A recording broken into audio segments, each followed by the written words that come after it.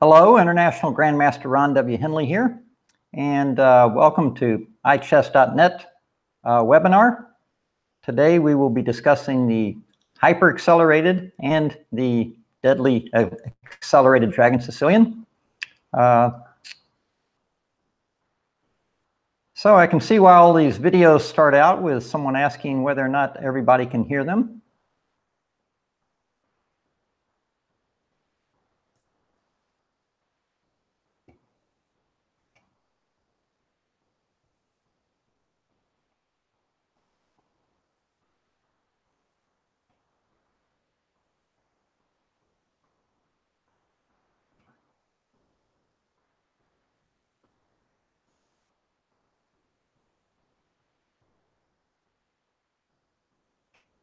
Okay, so now I believe you should be looking at my ChessBase screen there.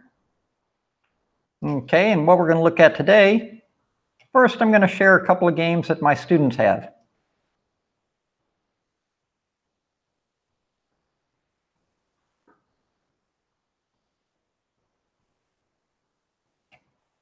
I'm just trying to see if I can uh, find where the chat is.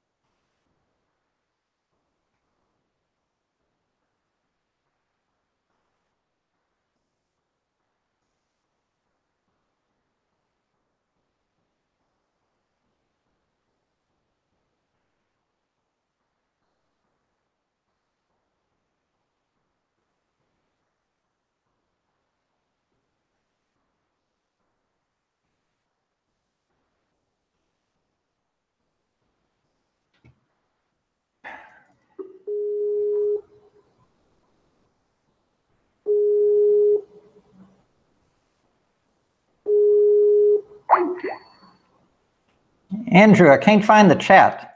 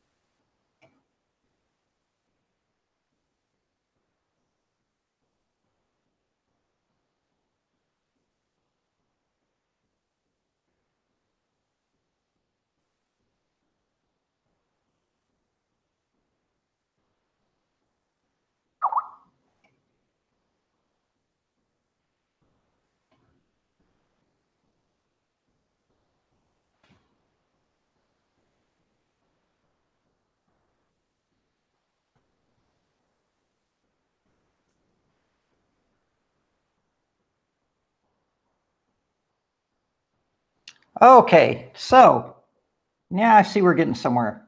I can see the chat and I can follow the video a little bit here, what you guys are doing. Okay, so let me know if you can see the ChessBase screen and we will go ahead and get started. Uh, first off, I'd like to talk about uh, iChess.net. Uh, Freddie Lansky and Will Stewart, a couple of very good friends of mine, and when they first started out, uh, in fact, Freddie took one video that had been lounging around, you know, in my basement for quite a while, a game I played Judith Polgar back in 1992, and uh, he dusted it off, edited it, and threw it on YouTube. So I believe, uh, you know, they'll toss that link out there for you later to take a look. Uh, let's see.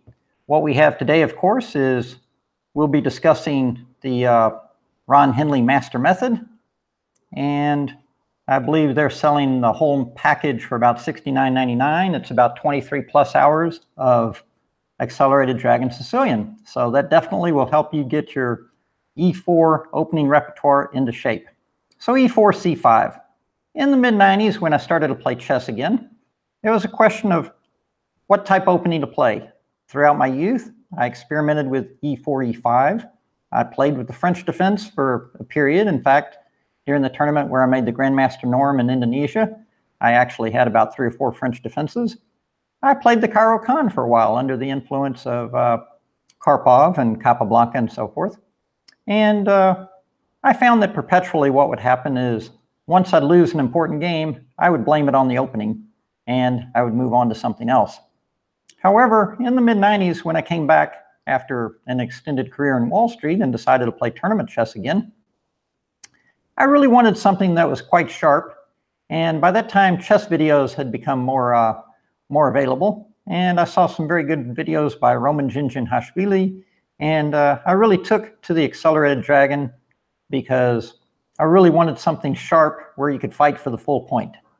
And so the Dragon Sicilian is a bit too sharp and serious concerns about the Yugoslav attack that go all the way back to my childhood for two reasons. One, Karpov on the white side of the Yugoslav attack would win many crushing games.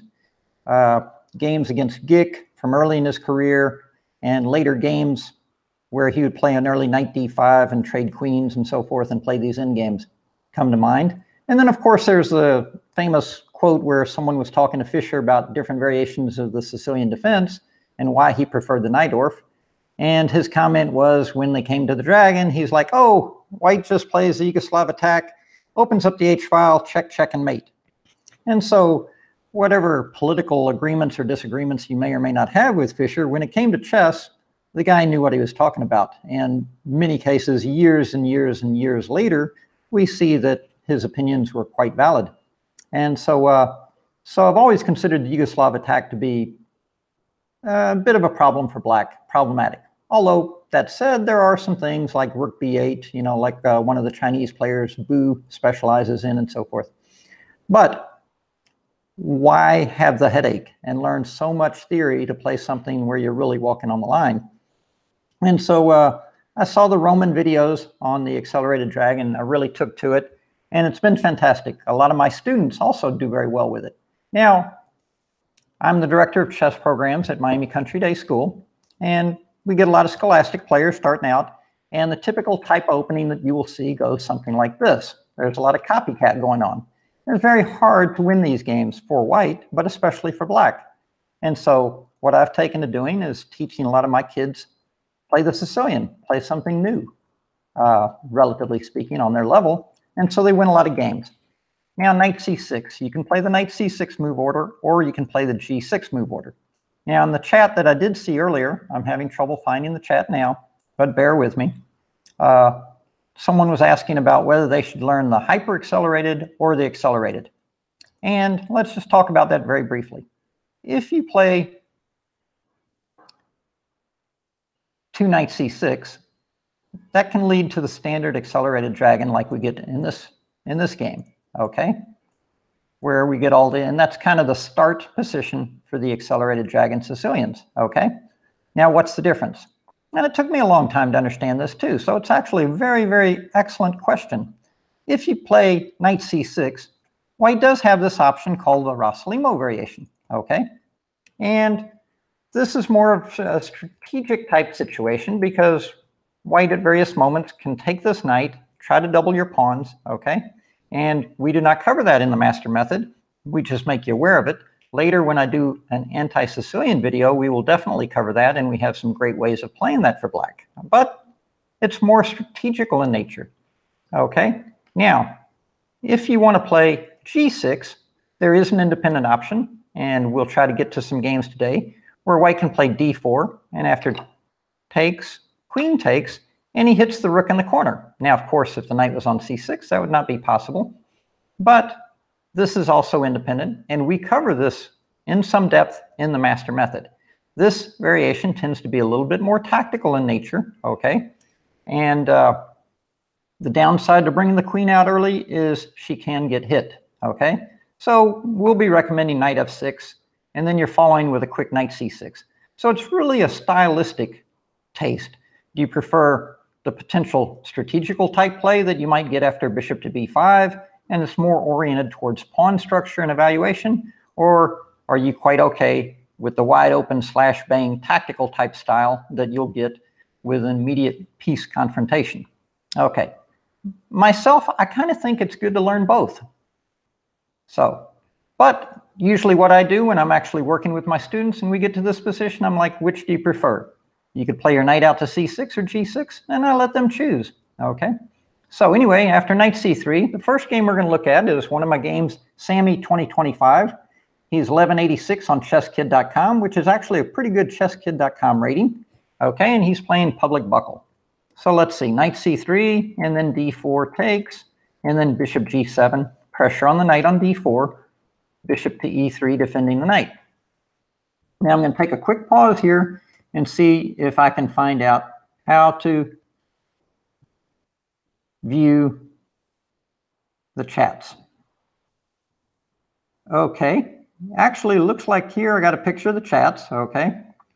So uh, I see Sean Gow has a vote here for G6. Vikram says hello. Okay, and Sea Bear is here. Okay, so I'd like to thank everyone for coming in. Charlie Brown says the screen is blurry here.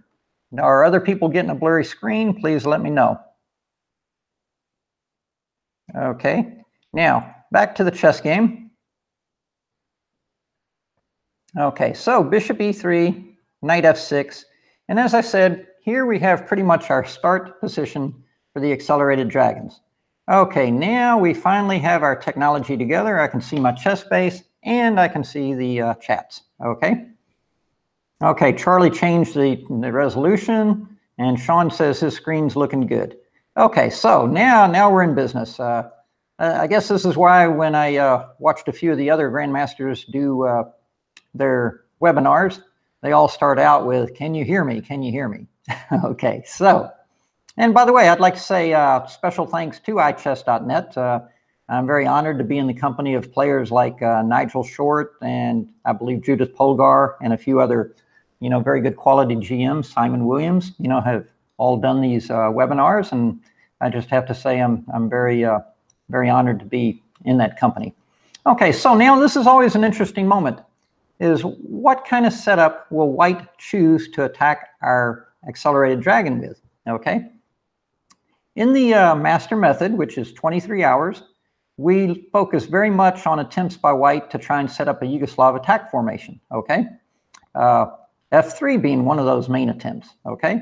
Queen to D2 is another. And basically, white wants to play F3, bishop C4, and castle. Inside that is, okay? And then he's in business.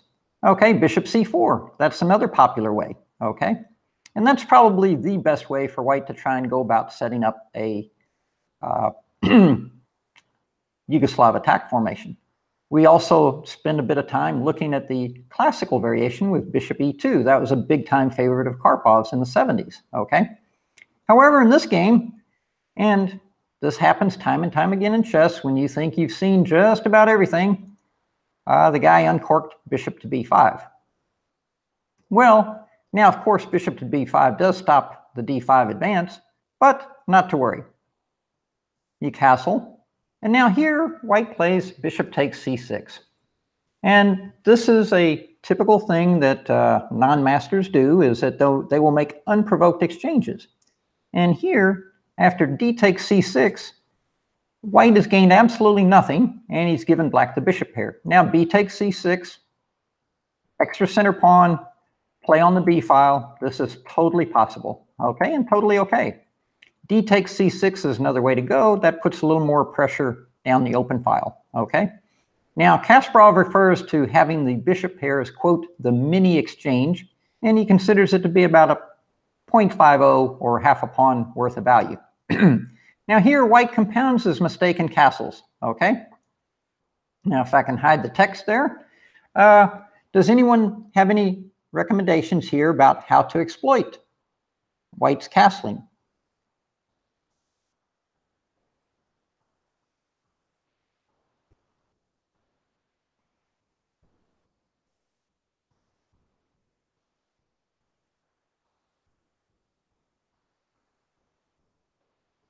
Pause for a moment.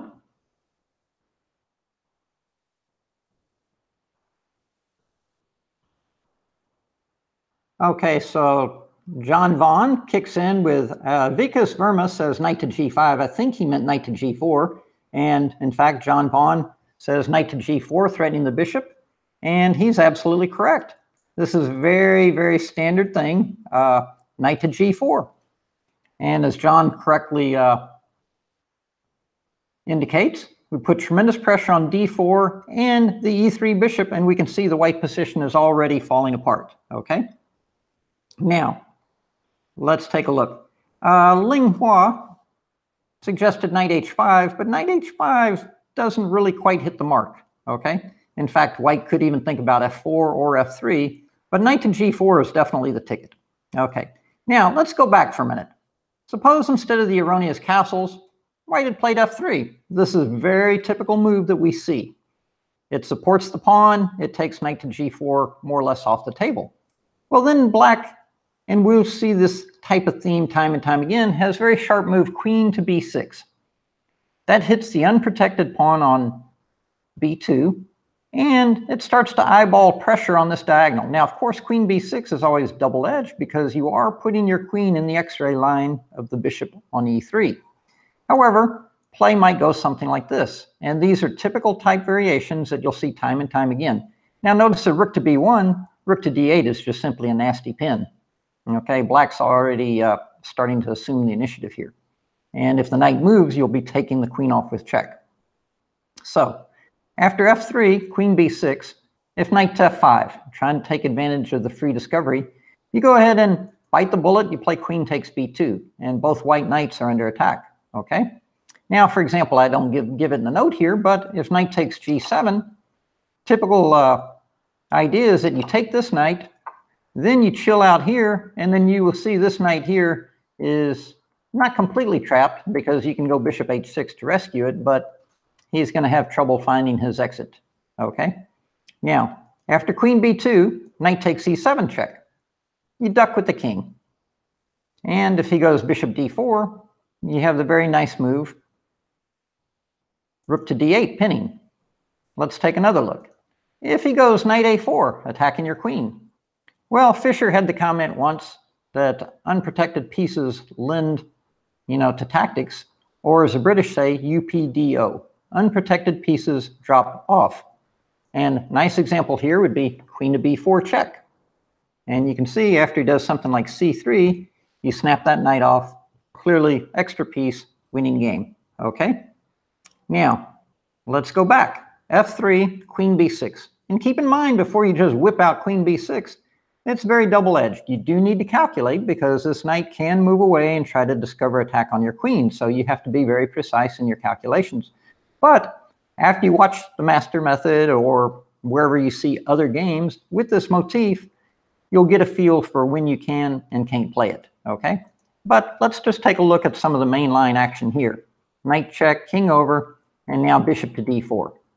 Then you have rook d8. And I was going to actually leave off here, but after knight to d5, does anyone see how black should continue here? The queen is under attack, the pin has been broken, the knight on f6 is under attack twice. Uh, looks a little dicey. However, let's see.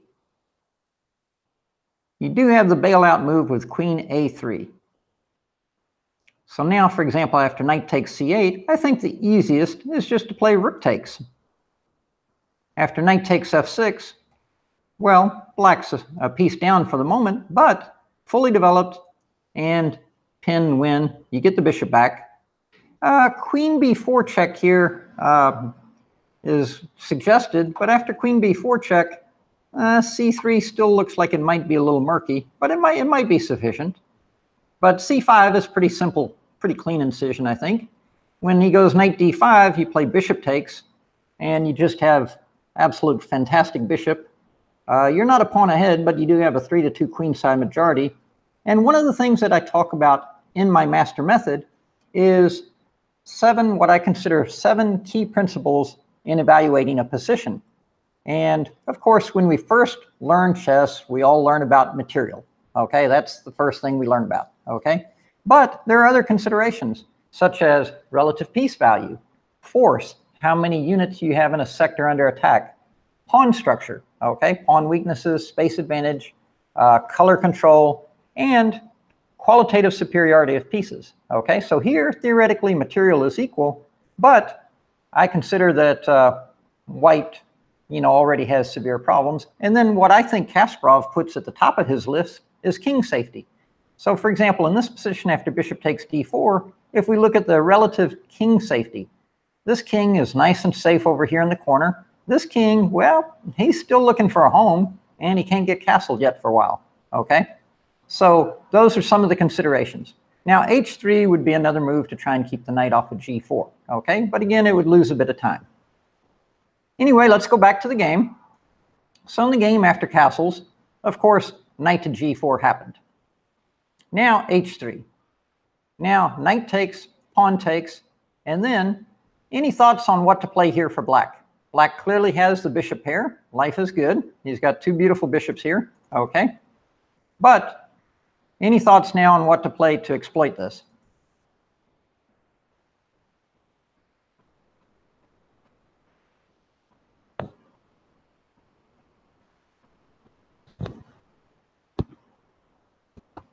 Oh, uh, Ravi Rawat says I sound a bit like Karpov, but actually, good point. And uh, by the way, that's that's a, a, deep honor, and I appreciate it. Behind me is a picture of Anatoly Karpov. Okay, uh, previous uh, entrepreneur that I worked for sponsored some events with Karpov, and so uh, when he uh, moved off to France, this kind of fell into my living room lap. Okay, so. okay, so a couple of people, Long Hu and Akeem, both uh, recommend e5, and they're absolutely spot on. When you have the two bishops, uh, does anyone know who was the first player in chess history to talk about the advantage of the two bishops? Any thoughts on who that might have been?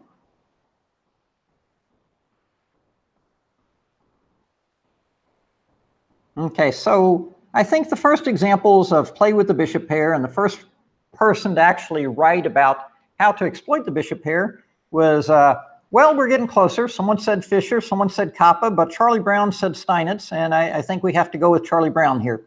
Uh, Steinitz had two games, 10 years apart. One was against Bird and the other against uh, Master Englisch. And uh, Paul, Paulo uh, also says Steinitz. He is absolutely correct. And John Vaughn throws out Lasker, who Lasker was a superb endgame player. Uh, welcome Jason here to the chat. But Steinitz was the first one to actually write about the specific advantage of the two bishops. And if you have a chance to go back in chess history, eventually I or Karpov or someone will make a video on this, talk about this. Uh, Steinitz discussed his two games, very similar, 10 years apart, where he had the bishop pair. And one of the things he talks about is when you have the bishop pair, using your pawns to deprive the enemy knights of outpost. So this is kind of a classic textbook example, okay? Even if you block in one of your bishops for the moment, it can reemerge later. But the main thing is to use your pawns in such a way that you deprive these knights of outposts. So this is a classic textbook example, okay? Now after e5, you can see the knights don't have good outposts. This pawn covers c6 and d5. This pawn takes away the d4, the f4 squares, okay? Knight retreats, and now queen to b6. Okay, and someone had suggested queen b6 move before, but it's even stronger now. As we can see, the b2 pawn and the e3 pawn are definitely under attack. Okay, now in the game, queen e2 is played. which defends the e pawn, but not the b pawn. A little bit better would be queen c1, bishop e6, knight g5. And does anyone have any ideas about what to play for black here?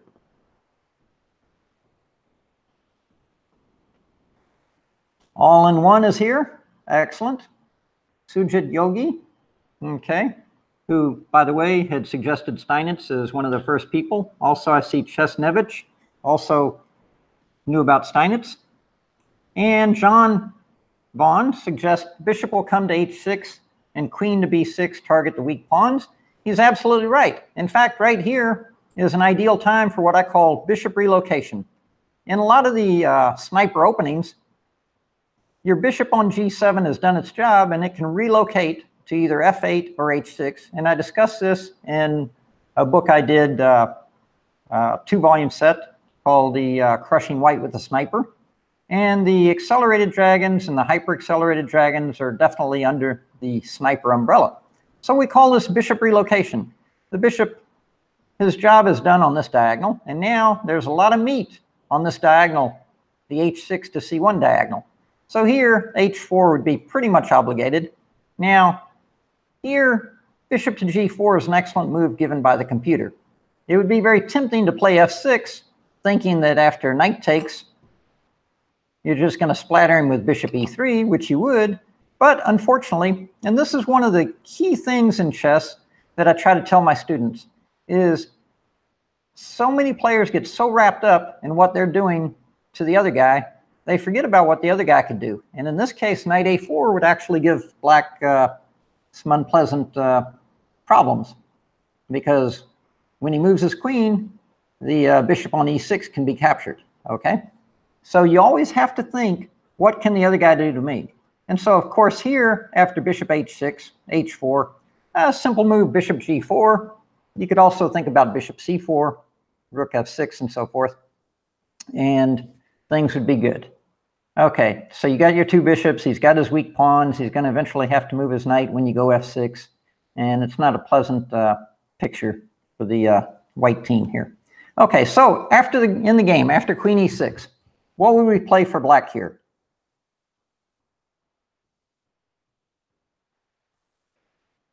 Any, any uh, thoughts what to play for black here?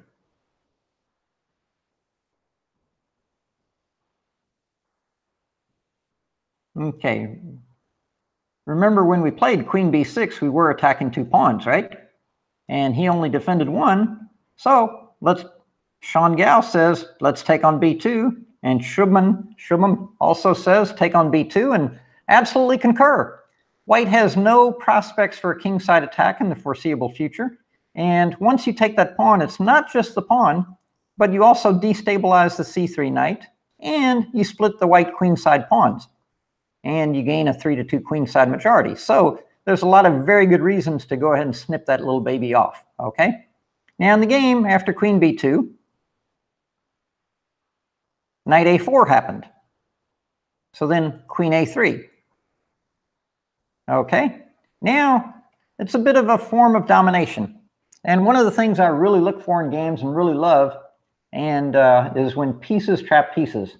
In fact, uh, one of the things I asked Karpov about, Karpov had a discussion with him once about, you know, uh, I think we were talking about like how each player becomes world champion. And he pointed out that each player needed to contribute something new to the game of chess.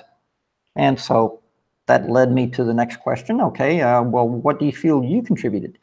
And he said, play against weak enemy pieces. Uh, he thinks that was really his forte. And he pointed out, for example, in the Ruy Lopez, the Chigorin variation, playing d5 and sending the knight to a5 and then playing b3 and so forth. So here we can see this knight on a4 is very, very weak. In the game, Queen to uh, queen to b4, by the way, would have been extremely good because that would actually even take away the queen c4 option. So queen b4 would have been very good, okay? But queen a3 was perfectly good too, okay? And now white played queen c4 defending the knight.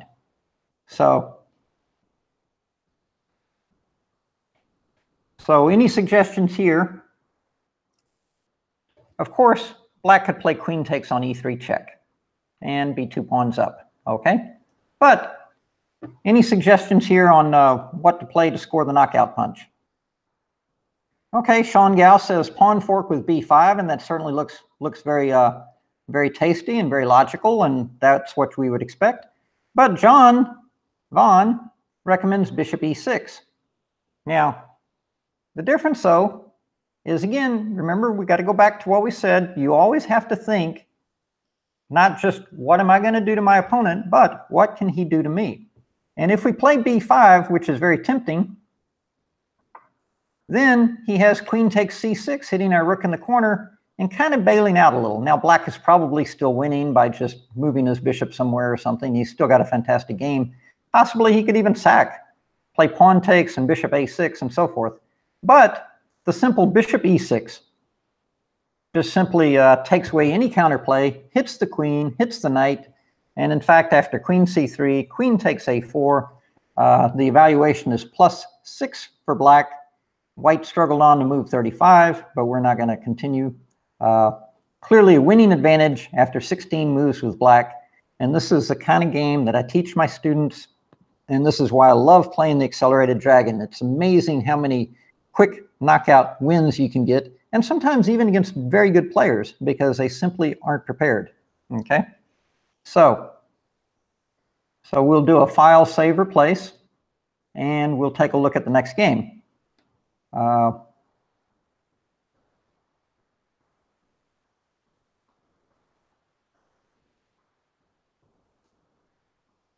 Okay, so next game also features the same student, Sammy2525. He's a student at my school at Miami Country Day. Okay, let's see, let's get rid of that. Okay, so e4, c5, knight out, pawn up, pawn up, takes. Now here, knight takes. Now we did mention that queen takes d4 is definitely an option, okay, for white, okay. On the plus side, white hits the rook in the corner. It's not protected yet. We don't have our bishop to g7 yet, okay? And that doesn't disrupt our development a little, okay? But what we do with black is we play knight f6, and I cover this in great detail in the uh, master method, okay? And we're now ready to follow up with knight c6.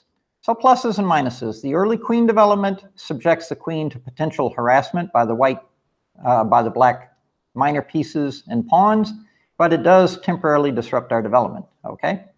Now, in, in this particular game, the opponent didn't play queen takes on d4, played knight takes, and after bishop out, bishop out, knight to c6, okay? Now note that a little finesse here, black could play knight f6, okay? And uh, very nice comment here by Sean Gao. He said, I feel like you and Eugene Perelshteyn uh, Grandmaster Perelshteyn, by the way, was a student, uh, very good student, by the way, of uh, Roman Dzindzichashvili, And he says uh, he feels we're among the best teachers on the Accelerated Dragon. And, you know, I certainly hope he's right. I hope that today we all have fun and there is some danger we may actually learn something as well. That would be that would be a huge bonus. okay. But no, I have a lot of respect for uh, Perelshteyn. In fact, he had a game with Black against uh, Shirov and I think it was like a uh, world uh, event. And Shirov actually was a little bit fortunate to actually make a draw with the uh, white pieces. So as a dragon devotee myself, I always look at other games by top-notch dragon players, and I, I take notes on uh, what they're doing. And Perelshteyn is one of those players on that list that I definitely pay attention to his games. You know, a lot of respect, you know, for for him and his theoretical preparation in the uh, in the dragon. Okay. So let's see, after knight c3, so what I was going to say though is you can play knight f6 to attack the pawn, and the point here is you don't have to be worried about this advance with e5 because you have the little trick queen a5 check, double attack, okay? And after knight c3, you snip off that very, very valuable center pawn. Believe me, more than one white player has uh, fallen into this because when they play e5, they're thinking, oh, the knight's going to go back and they're going to get some mojo initiative, okay? And believe me, more than one player with white has walked into this one. Okay. So anyway, uh, in this game, knight c6, knight c3, and then knight f6. And as I mentioned before, I consider this to be kind of our standard start position. Okay. Uh, Lynn Cooper has a question. Fire away, and we'll try to get to it. Uh, just Try not to ask me what the winning lotto numbers for the Powerball next week are, okay? And so anyway, after knight f6, in this game, f3, which we mentioned, you know, is one of the logical attempts by white to start steering toward a Yugoslav attack formation, okay? Now, if we as black just let white play queen d2 and bishop c4 and castle queenside, it's a very easy plan of attack for the white team leader, okay? But it's premature here. Here we castle. Now, d5 is a little bit premature. Does anyone know why?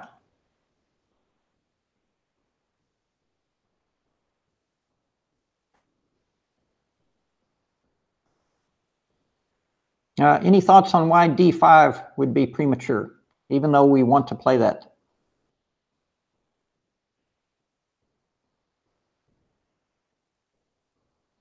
Okay, Ravi Rawat has a strange comment about instead of knight f6, e6, and knight e6 would be better.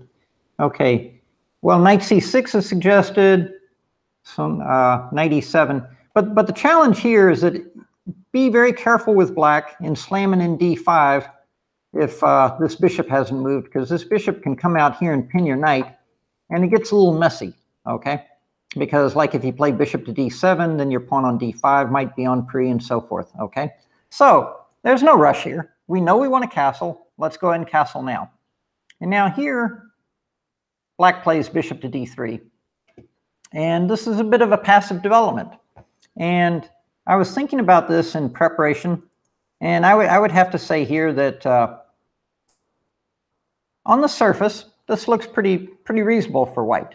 Okay, he's actually occupying the center with a lot of pawns and pieces. Okay, but and this was kind of the school of thought in the classical days of chess, and then around the 1920s and 30s, a group of young independent thinkers, Reti, Tartakower, and a few others, uh, kind of developed the hypermodern school of chess. And in the hypermodern school of chess, uh, they start to differentiate between actually occupation of the center, as we can see here, white is clearly occupying the center, versus controlling the center.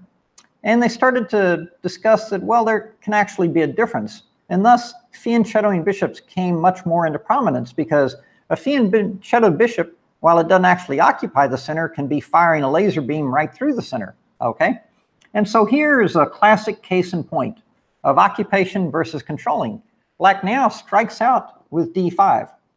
And the hypermodern school of chess even went a little step further and said, you know what, we can actually let white occupy the center sometimes and then try to counterstrike at that center, okay? And so thus comes the conflict of ideas. So here black plays d5 in a heartbeat.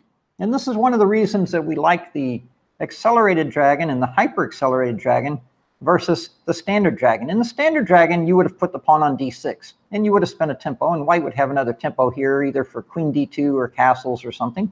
And then later, you would look to free your game by playing d5. And as Roman pointed out in the very first videos I watched, time and time again, boy, if black can play d5 in one shot, it's like almost instant equality. And I would even say goes a step beyond, I tend to prefer black in these positions because white has already lost any momentum from the first move. And a lot of times black is actually able to get the initiative. Okay, so let's see. Little comment here. You want to deny outpost, okay, from C Bear.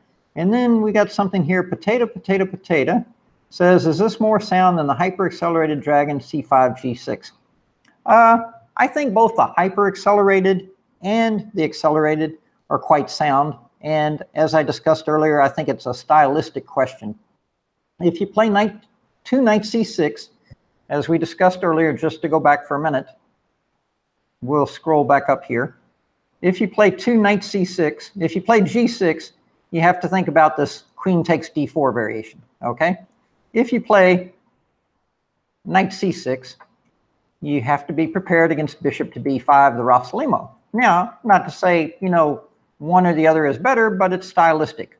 Just to review very quickly, uh, if everyone else will bear with us, the queen takes d4 variation tends to be more tactical in nature, which is good for players. For example, my student Charlie uh, Charlie Brown is on the call here, and he loves wide open tactics, loves Nezhmetdinov, Tal games, and so this is totally his cup of tea. I have other students that prefer the, uh, the knight to c6 move order, okay? And don't mind the structural issues involved. Okay, so back to the game at hand after d5. Well, this totally breaks up the position, and now black has the threat. If given another move, we'll just make a T note here. If white passes and it's black's move, well, he can already think about playing, let's do a, hold on, we're going to enter a null move here. Okay. Let's see, we entered it in the wrong place. Bear with me one second. Okay, so now if black had another move here, he could already slam in a move like e5, and you can see he's already starting to fight very hard for the center. And these white pieces all jumbled together are going to kind of be in the way of these uh, approaching black pawns, okay? So d5, excellent freeing move. Now, one of the ways that white can respond is knight takes on c6. But after b takes c6, black actually adds to his pawn structure. And now white kind of has two different choices. Well, first off, he has to do something about the potential pawn fork, okay? Uh, Sean Gao points out that the Rossolimo is annoying, and I have to agree, and that's why definitely you have to be prepared for it, okay? Uh, now, I do not cover the uh, how to play against the Rossolimo. I will probably touch on maybe one game later in this uh, series of webinars, but I don't really cover it in depth in the master method, but I will probably cover it in a future anti-Sicilians video, okay? Uh, not to be feared, but definitely needs to be prepped against. Queen takes d4, same thing. Not to be feared if you are prepared, okay? Now, after b takes c6, white could play e5. And this is pretty standard recipe when black plays d5, either in this or the classical. And here you have a couple of options. Typical option is to play knight back to d7, and after f4, play e6, okay? And you set up your pawn triangle and you look to play f6 and chip away at their pawn center. Now, I think uh, Charlie Brown and I had a, uh, or Charlie Brown had a game uh, a couple of months ago on chess.com. Uh, it actually takes a pretty decent positional player to fall into this trap that White fell into, but quite a few players have fallen into it. Uh, I think his opponent in this type of position played a move like knight a4, clearly wanting to occupy the c5 square. And that looks very reasonable. Now, of course, black could play f6, but the nice little tactic here is knight takes e5, pawn takes, and then queen h5 check. And we cover this in the master method. black will simply regain the pawn. The pawn on e5 is uh, very, very weak. White's position is a total disaster, okay? So, but after e5, another idea for black here in this particular situation is to play d4. And after pawn takes on f6, you could simply play bishop takes on f6. And after bishop h6, chasing the exchange, very thematic idea for black is to just sacrifice the exchange, take on b2, and after rook b1, king takes f8. And let's take a look. Well, seven pawns to five. We already have two pawns in our pocket, plus Remember, we have the bishop pair, and we said Kasparov said the bishop pair is worth about 0.50. So black already actually has a big advantage here. He's also got possibilities of check, picking off this pawn, and then he's got monster pawns on this side, on the queen side, okay? So that would be one way to go. Uh, so e5 is probably not very good. Pawn takes pawn is another typical response in these type of situation, situations. And you would think black would play pawn takes pawn, which is certainly okay. But even stronger is to play knight takes. And why knight takes? Well, this opens up for the sniper bishop, or the accelerated dragon bishop, if you will, okay? And you can see it puts pressure on the bishop on e3 and the knight on c3, okay? Now, after knight takes, pawn takes, the pawn on b2 is under attack, c3 is a typical move, okay? Now, any thoughts here? Okay, uh, Max Timpany, thanks for joining us, by the way, says, uh, will we cover the Maroczy bind? Okay, great question. Maroczy bind, real pain in the, excuse me, real pain in the ass for black if you don't know what to do. uh, players like Karpov, Kappa, Petrosian would play it and just Botvinnik and just slowly squeeze white, uh, squeeze black to death with the space advantage. Well, two things. One, uh, by the way, excellent question there, Max. We will cover uh, in some depth uh, the third part of the master class method. We give you a repertoire to play against the um, Maroczy bind, but we will also touch on it uh, in the third of these webinars, which will be Wednesday at 12 o'clock noon, okay? Very, very good question, okay? Uh, so we haven't gone over it yet in these webinars, and we will plan on going over that on uh, Wednesday, okay? Uh, so keep the questions coming. We'll do the best we can to answer, okay? Let's see. Now, in the case at hand, after knight d5, knight takes, pawn takes c3. Any thoughts here on what to play for black? Uh, I think someone's suggesting, uh, Shubham is suggesting e5, and uh, that would be a normal move. However, after e5, sometimes you do have to be a little bit careful about some tricks with bishop to b5 and bishop c5. Uh, in fact, bishop c5 and then bishop here. I guess you could play bishop d7 and so forth, but that is possible. And I think a uh, very good book by uh, Young IM from England on the uh, Accelerated Dragon came out a few years ago. And he mentioned in this type of position that he actually had a slight preference for playing rook to b8 first. So that way he keeps that bishop off b5 and some variations. Uh, in the game here, we actually uh, saw my student play d4, okay? Now, slightly more precise would be to actually play rook b8 first. Uh, having trouble remembering the name of the, uh, the young IM. Both his parents are FIDE title players and he produced a very good book around 2014 on, on the uh, accelerated dragon. Anyway, the idea with rook b8 is to try and get some kind of commitment. Notice the pawn can't move because bishop takes c3. Okay. Lalic. Peter Lalic came out with a very nice book in 2014 on uh, playing the dragon. Very good. And I think in this type of position, he had one game where he wishes he had played rook b8 first. Okay. So rook b1, then play d4 as in the game. And the difference is after takes, takes, queen takes, uh, white doesn't have bishop e4 hitting the rook in the corner, okay? And this position's pretty good. Now, you could also play e5, bishop c5, rook e8, bishop b4, as we mentioned, okay? In the game, my student Sammy went ahead and blasted away with d4 right away, okay? Then came bishop b4. Now, of course, if bishop to e4, it's a little bit complicated. But again, you can see this type of variation would not have been possible had black simply played rook b8 first, but even here he has very good compensation, probably close to winning. In the game, after bishop d4, bishop takes, pawn takes, queen takes. Now you can see white already has problems in terms of, remember we said our elements, king safety. Look at that black king, nice at home, smoking a cigar or cigarette or whatever, checking out the Sunday morning paper. Look at this white king, still stuck in the middle of the board, okay?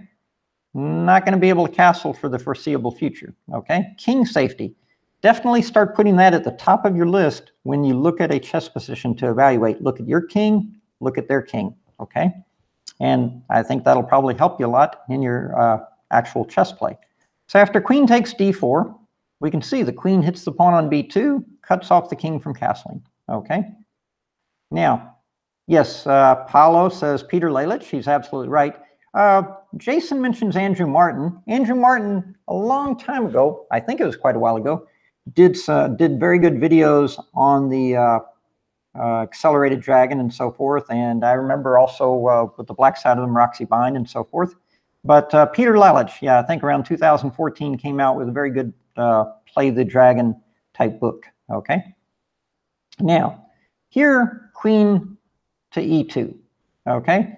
Notice at bishop e4, black has two responses. What do you guys think here would be a good way? Should we trade queens and just go to the endgame? What do you guys think?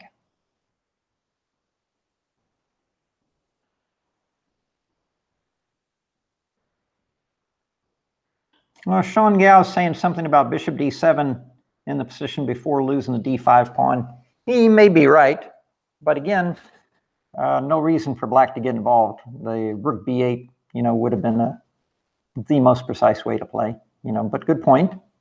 Okay, so now in this position, what do you guys think uh, black should play? Someone says trade queens. John Vaughn suggests queen e3 check. Someone says queen b4. Well, a couple ideas come to mind. One, if you just want to bail out, I think queen e5, simply pin that and gain time to play your rook to b8, okay? For example, if bishop e, if queen up, then you gain time to play rook b8.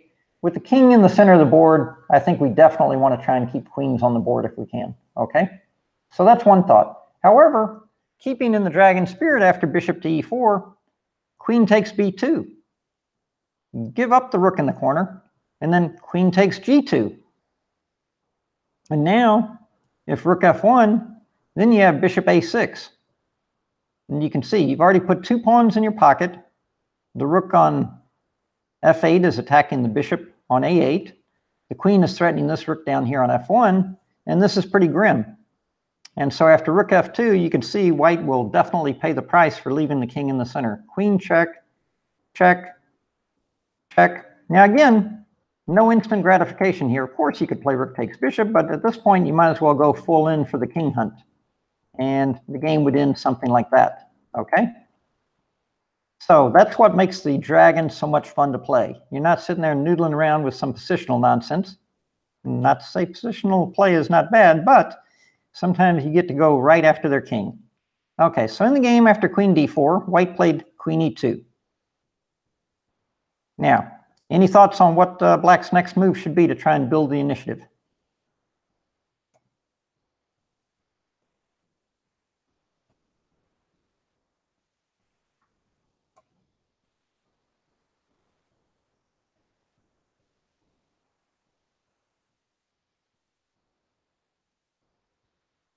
Okay, Sea Bear says, me is wanting kings. Well, if you want kings, definitely the accelerated dragon or hyper accelerated dragon definitely is one of the better openings to play. Okay, so John and Jason and Long and Sea Bear are all suggesting rook b8, and I totally agree. Absolutely spot on. Rook b8 hits the pawn. Pawn can't move because the rook in the corner hangs, and so he's pretty much obligated to play this kind of limpy wimpy rook to b1.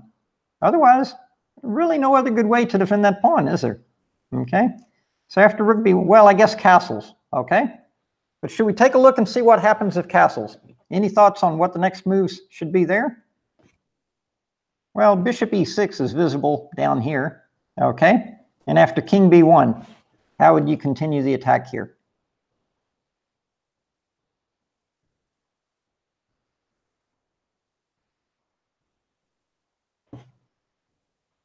Uh, yeah, yeah, John, we, we're looking at white castling long, and then we go bishop e6, hitting the a2 pawn, and if he goes over to defend it, what do you guys think now?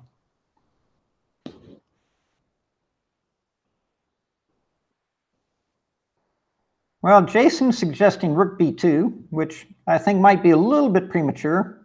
Simply uh, keep in mind the queen is, is protecting there, okay? So that might be just a little bit early, okay? Queen a4, Sujit is suggesting. Long is chipping in with queen a4, and I kind of have to agree. Queen a4, that puts two hits on the a2 pawn. Not easy to defend. Simple threat is queen a2 check, okay? So after queen a4, pretty much obligated to play b3, okay? And now, bishop takes b3, smack, and the idea here is you sacrifice a bishop and you destroy the pawn cover. Now, one of the things I talked about, remember I mentioned the, the seven elements or so that I focus on in a chess game. And here you can see that in the sector under attack, this quadrant here, white has a rook and bishop, eight points. Black has queen and rook. Don't really count this pawn too much, but that's about 14 and a half points of force and against this naked exposed king. So this is what we're referring to in terms of force versus material. Material, in my view, is just sum up all the pieces on the board. And here, white's doing okay. He's got a bishop for only two pawns. But in terms of force, in this quadrant here, white's in big soup, okay? Because black obviously has a huge force count in this quadrant, okay? So when you look at uh, chess position and you're evaluating, look at the force in a sector under attack, okay? And here we can see, yeah, it's not gonna be, it's gonna be pretty quick. Rook over d8, cutting him off, and then queen check, queen d2, and a very nice variation here is that now you go check this way, and then you hit him with this one, exchange sack, eliminate another defender, queen check. Now again, there's force and there's material. Here, white is a rook up for only two pawns, but the force sector and the king safety are clearly not working in his favor, okay? So typical variation when you're attacking on the king side. Okay. Perfect coordination with the black army, and you can see the, uh, the white pieces in the corner not doing anything at all to help out, okay? Now, let's get back to the game. After rook b1, very nice strong move here, rook to d8, simply hitting the bishop on d3, okay? Now again, relative value, okay, is one of the things that I talk about in my uh, discussing elements and so forth, okay? And this is all discussed uh, in the first part of my master method, and then everything I do in the future will build on these concepts of uh, the seven elements for chess. So one of the things I talk about, we discuss king safety. Let's look at the two relative kings. King on g8, very safe, very secure, good pawn cover. King on e1, mm, not much pawn cover there, and still trying to figure out where his home is going to be, okay? Qualitative superiority of pieces. Let's look at these black rooks and queens lined up on open files. We see these white pieces. When you break chess down and you look at some of these elements, it can uh, demystify trying to evaluate a lot of chess positions. So let's take a look and we'll go ahead and wrap up for today. The bishop is under attack. The bishop moves to c4. But now comes another development, smacking the rook on b1. Rook goes to c1. Well, if rook to d1, typical variation would be I'm just going to run through this right quick, trade rooks. Of course, if queen takes, you can take the bishop on c4, and then check. Now the pawn is under attack, rook over pinning the bishop, and then check, check, and you can see this would this would end pretty quickly. So in the game, after bishop c4, bishop f5, smacking the rook on b1. Rook goes to c1. Then rook takes b2. And again, you can see the qualitative superiority. If you compare the black pieces to the white pieces, it's hardly a fair comparison. Now the game is actually pretty much over. After rook takes b2, again, the king safety comparison, okay. In the game, well, if queen e7, you have simply queen f2 mate, okay. After rook takes b2, if queen f1, trying to guard the f2 square, then you have queen d2 mate, okay. In the game, after queen d1, then simply queen f2 checkmate. End of the story, 19 move win for black. And after my students win one or two games like this, they are committed, accelerated dragon, Sicilian devotees for life. And that's why I love playing this opening. If white doesn't know what to do, it's very easy for black to assume the initiative and go after the king. So join us again Monday. I think uh, the ichess.people will put together a link there for you uh, where you can buy the uh, master method. I think it's uh, finally came out in the end to 23 hours. It includes the seven principles that I like to use, guidelines for evaluating chess positions, and it gives very thorough coverage of the accelerated dragon, White's attempts to set up the Yugoslav attack, uh, how we're going to meet that, the main variation with 7 bishop to c4 is what we will cover in our next webinar on Monday at 12 o'clock. Uh, we also cover how to meet the classical variations. And the last section is devoted, someone asked earlier about the Maroczy bind. We have very special repertoire against that, and we will talk about that on Wednesday. I'd like to thank each and every one of you for taking a little time here on a Saturday to join us. And uh, I guess I'll see you again Monday. Thank you so much.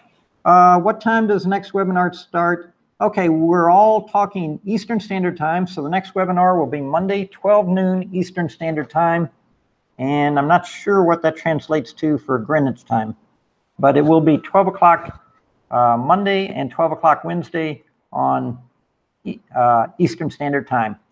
Thank you all so much, and uh, hopefully I'll see most of you Wednesday and Thursday. Okay, take care.